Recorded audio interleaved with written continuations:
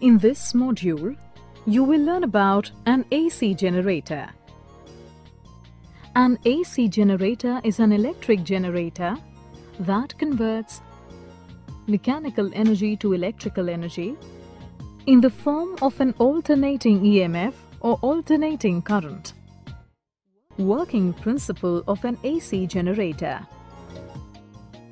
An AC generator works on the principle of electromagnetic induction. In electromagnetic induction, when there is a relative motion between a coil and a magnetic field, an electric current or EMF is induced in the coil. Parts of an AC generator An AC generator has an armature ABCD. It is a rectangular coil with many turns wound around a soft iron core. A shaft, it can be rotated rapidly.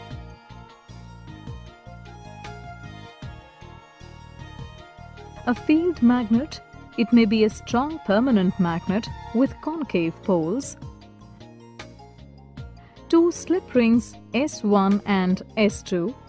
These are connected to the armature and thus rotate with it two brushes B1 and B2.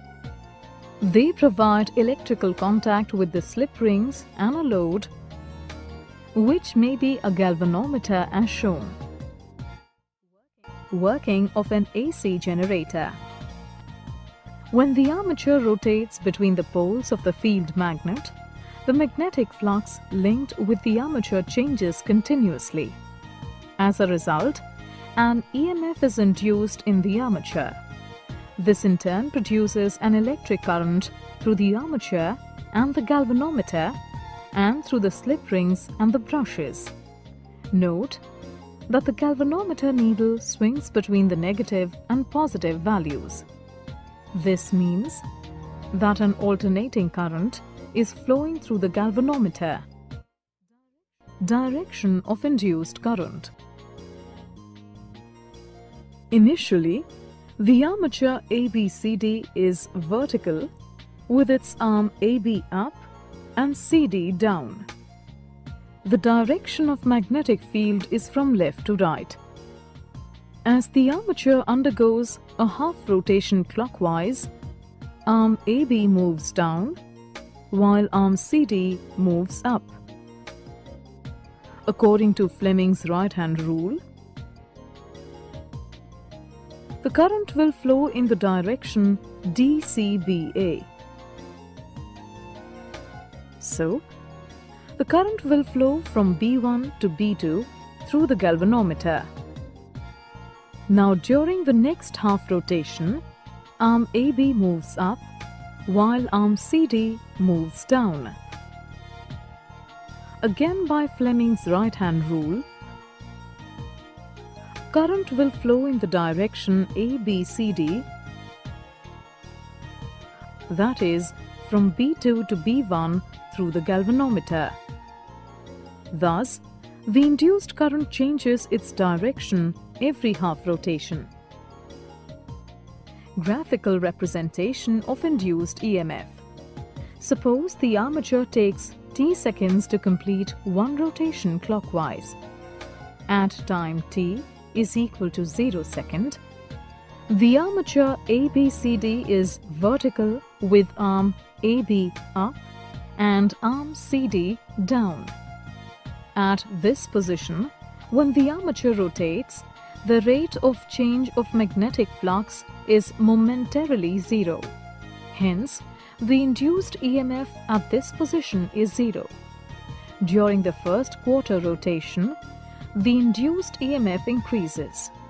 Then at time t upon 4 seconds, the armature becomes horizontal. At this position, the rate of change of magnetic flux momentarily attains the maximum value. Therefore, the induced EMF at this position is maximum. During the second quarter rotation, the induced EMF decreases. Then at time t upon 2, the armature again becomes vertical and therefore the induced EMF is zero. During the third quarter rotation, the induced EMF increases but has an opposite polarity as compared to that of the first half rotation.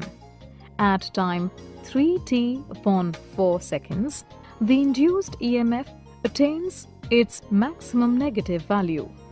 During the fourth quarter rotation, the induced EMF decreases and becomes zero momentarily at time t seconds as the armature is vertical once again. So the magnitude of the induced EMF is sinusoidal. In this module you have learned an AC generator is an electric generator that converts mechanical energy into electrical energy in the form of alternating EMF or alternating current. An AC generator is based on the principle of electromagnetic induction. An AC generator consists of an armature, a shaft, a field magnet, slip rings and brushes. The graph between the time and EMF generated by an AC generator is sinusoidal.